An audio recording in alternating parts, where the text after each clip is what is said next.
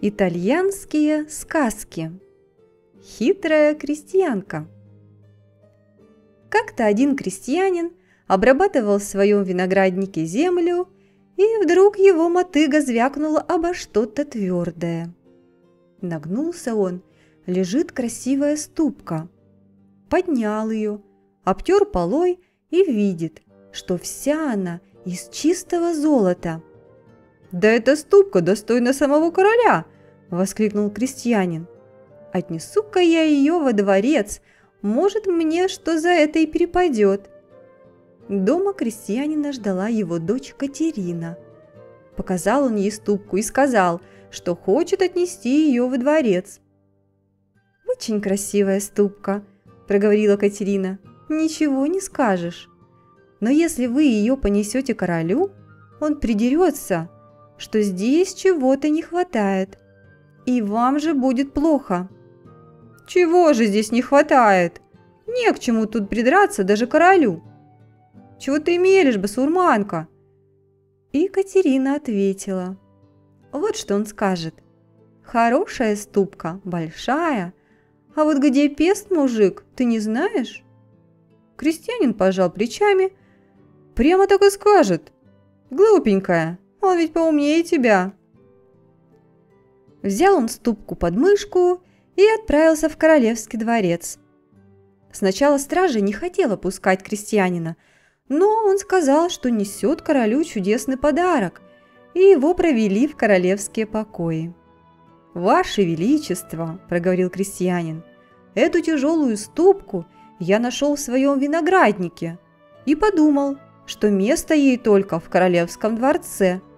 Вот я и принес ее в подарок вашему королевскому величеству, если вы, конечно, соблаговорите принять ее».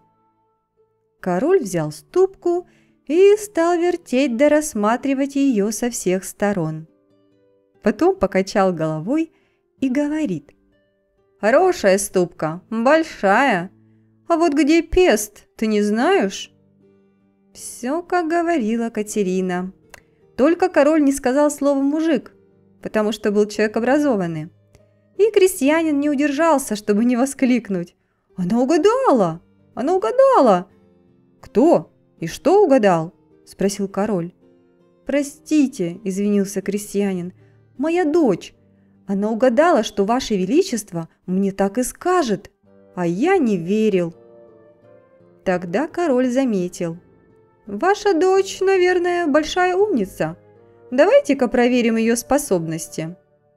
Вот, э, нате этот лен и передайте ей. Пусть она соткет для моих воинов рубашки. Да поскорее. Озадачил крестьянина такой приказ, но ведь приказ-то был королевский. Взял он протянутые пасмы льна, поклонился его величеству и пошел домой. А ступка осталась у короля – и тот не дал за нее крестьянину ни одного сольда. «Дочь моя», – сказал крестьянин Катерине, – «ты навлекла на свою голову большое несчастье» и передал ей приказ короля. «Ничего страшного», – ответила Катерина. Взяла лен и ну его трепать. Все знают, что даже в хорошо причесанном льне всегда есть костра. И вот три костры – выпали из льна на землю. Они были так малы, что их едва было видно. Подобрала Катерина костру и говорит отцу. «Идите к королю, передайте ему эти три костры и скажите, что я изготовлю полотно для рубашек, но у меня нет ткацкого станка. Пусть он сделает мне его из этой вот костры. Тогда я исполню все, что король пожелает». Страшно было идти крестьянину-королю, но Катерина так его упрашивала, что он, наконец, решился. Захотелось королю увидеть хитрую Катерину, и говорит он крестьянину. «Молодчина ваша дочь! Пришлите-ка ее ко мне во дворец, я с удовольствием поговорю с ней. Да передайте, чтобы пришла она ко мне не голая и не одетая, не голодная и не сытая, ни днем и ни ночью, ни пешком, ни верхом, если она не выполнит моего желанию, не сносить вам обоим голов.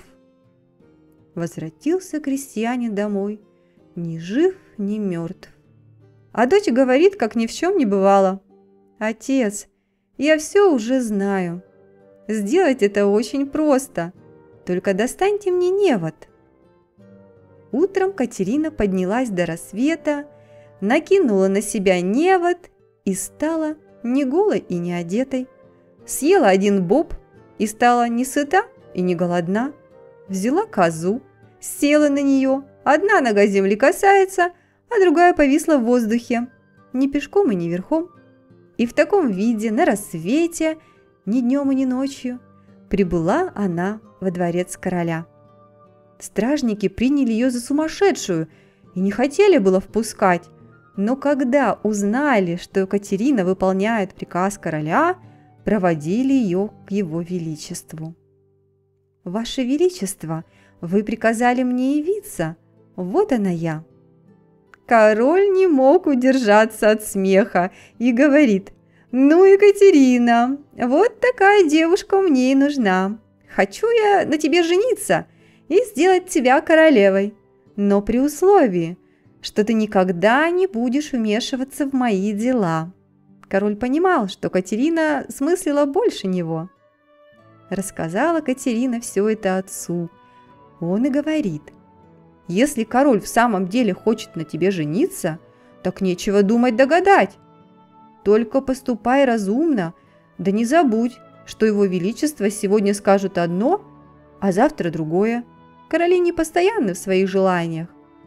На всякий случай оставь свою домотканную одежду, я повешу ее здесь на гвозде, воротишься домой, так будет хоть во что переодеться. Катерина была на седьмом небе от радости. Через несколько дней сыграли они свадьбу, и праздновало ее все королевство. В городе была тем временем ярмарка, и крестьяне, которым ночевать было негде, спали прямо на улице, чуть не под самыми королевскими окнами. Какой-то крестьянин пригнал для продажи стельную корову и не знал, куда деть ее на ночь.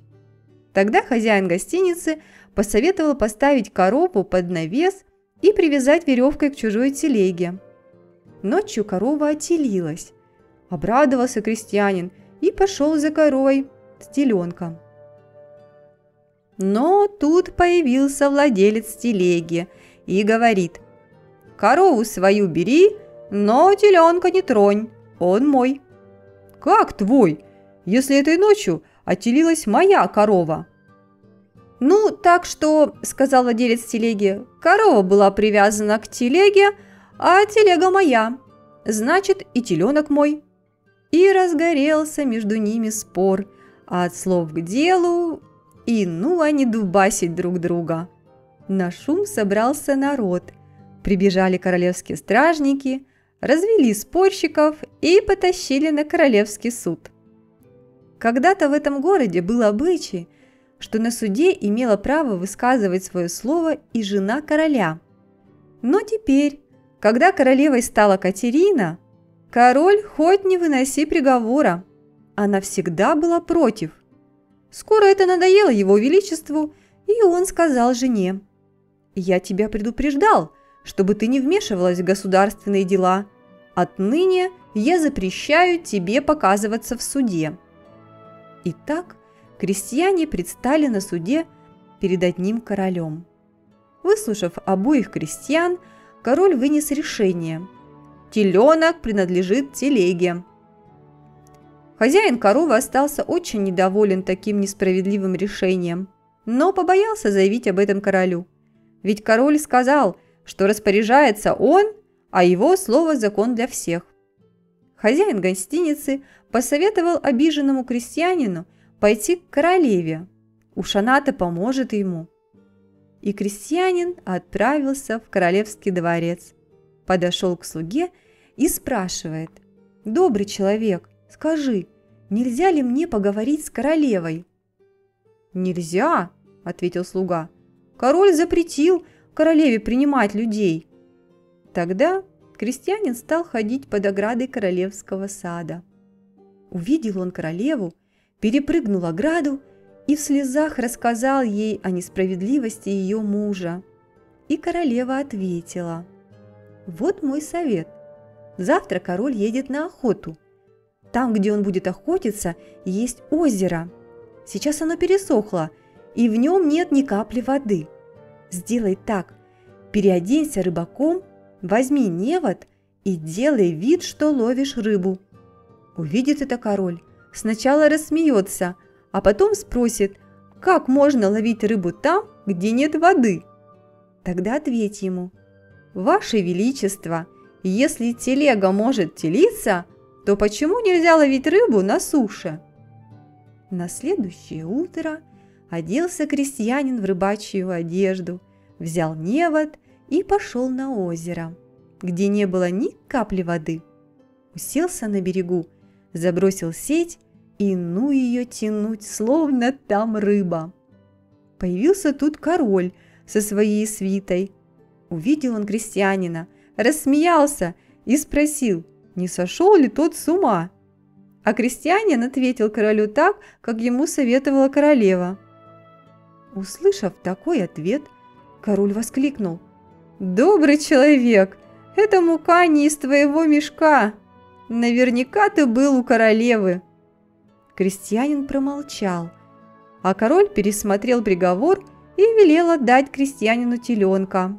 Потом позвал Катерину и говорит, «Ты нарушила мой запрет и вмешалась в мои дела. Так вот, возьми себе во дворце то, что тебе дороже всего, сегодня же вечером уходи к отцу и продолжай крестьянствовать». А Катерина смиренно отвечает, «Как будет угодно его величеству» не могу не подчиниться, но прошу только об одном. Нельзя ли мне уйти завтра? Сегодня это было бы слишком стыдно и для вас, и для меня. В народе пойдут кривотолки. Тогда король говорит. Ну так уж и быть. Поужинаем в последний раз вместе, а завтра утром уходи. И что же сделала хитрая Катерина?